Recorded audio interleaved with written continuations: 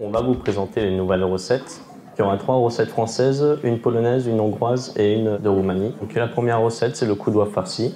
Pour cette recette, on va utiliser soit deux coups de ou un coup d'oie qu'on va remplir de chair à pâté. C'est de la chair à saucisse hachée plus grossièrement, suivant les goûts, euh, deux échalotes, de la ciboulette et une gousse d'ail. Voici les ingrédients suivants, de l'armagnac, du sel des ménages, sel, poivre et les œufs qu'on va mélanger dans, la chair à saucisse et qu'ensuite on va prendre un fil à, viande et une aiguille pour recoudre l'autre côté du cou qu'on aura garni.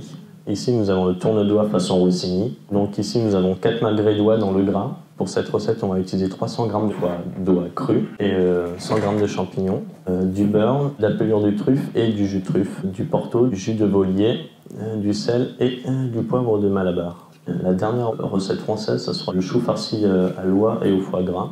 Ce sont euh, un chou, entier qu'on va enlever feuille par feuille et euh, prendre un couteau pour enlever le cœur du chou, qu'on va intégrer toute, toute la farce. On va utiliser du coup de la chair à saucisse, la viande de veau, de l'oie et du jambon fumé qu'on va couper. L'image représentée ici, c'est un foie, un foie gras mi-cuit qu'on va mélanger avec l'armagnac, le, flot de Gascogne et un peu de pelure de truffe qu'on va rajouter avec les, quatre, viandes qu'on avait vues juste avant.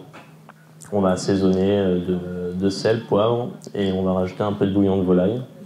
Et le tout, on va se servir d'une crépine qu'on va poser le chou avec toute la farce, toutes les viandes mélangées et assaisonnées. Et autour de cette crépine, on va ajouter un torchon. Et euh, le tout, on va mettre ça dans une marmite remplie de graisse qu'on va laisser bouillir à feu doux pendant 2-3 heures. Euh, le riz aux abetti de Loire, une recette hongroise. Pour cette recette, on va utiliser euh, des abats. Donc, euh, les abats pour cette recette vont constituer d'ailes, de cou, de gésier, les pâtes. Et si le foie est trop petit, on va s'en servir aussi.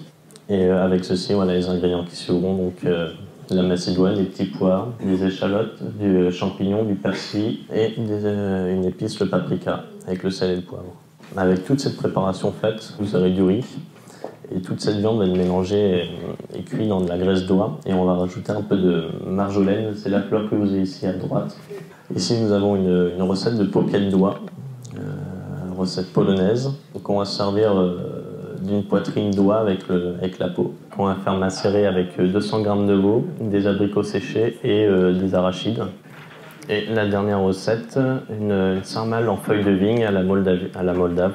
Donc là, nous avons du pastrama ou encore pastram, est une préparation charcutière de bœuf, de mouton, d'agneau ou de volaille qu'on trouve en Roumanie et Moldavie. La préparation consiste à tremper un morceau de viande dans de la saumure, puis à le faire fumer. Pour cette préparation, on va utiliser du poivron, du mi-pain, de la nette, des œufs, de l'oignon, de la graisse d'oie et euh, des feuilles de vigne. Et donc tout ceci va être mélangé et on va servir des feuilles de vigne pour enrober toute la préparation qui va être cuire presque une heure ou deux.